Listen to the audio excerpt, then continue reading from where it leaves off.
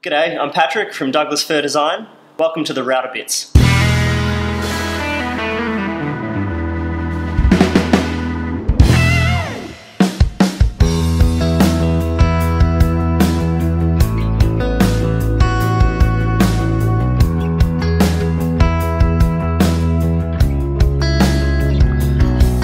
Now, I figured out that I needed to make an internal curve on the inside of each of my staves.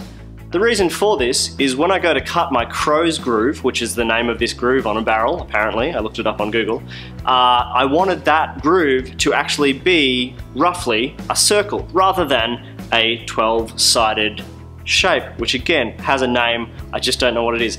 Dodecahedron? I think that's 20. Anyway, whatever a 12-sided shape is. The reason I need it to be roughly circular is because I wanted the fit when I put my lid inside this shape I wanted that fit to be fairly consistent. If you don't need this to be a very tight waterproof fit, like if you're just creating something ornamental, this is not really important. You can create these little grooves just directly straight rather than trying to match that curve and it'll be totally fine.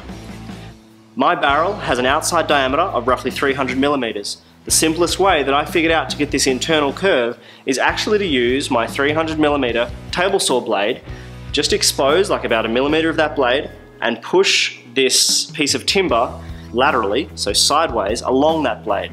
Now you've got to be careful when you're doing this, you don't want to put too much force on the blade so that you're going to bend it. You just want to let the teeth eat away that material as you gently push it over the blade. In order to do this safely and efficiently, I have just used my little cross-cut jig.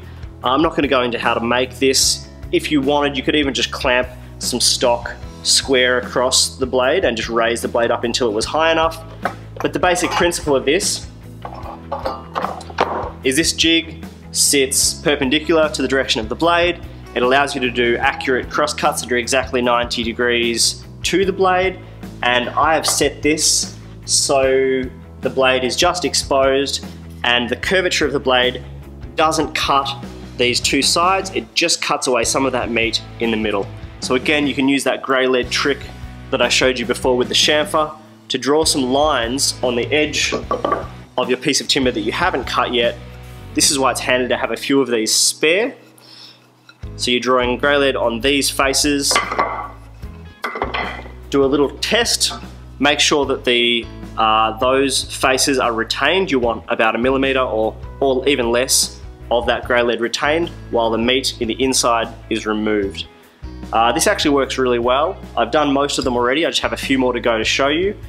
Uh, I put these spacers on my cross-cut sled just so the uh, my stave can't go anywhere. It can't get pushed around by the, on, by the blade on the table saw. It just fits in this slot and goes exactly where I need it to go.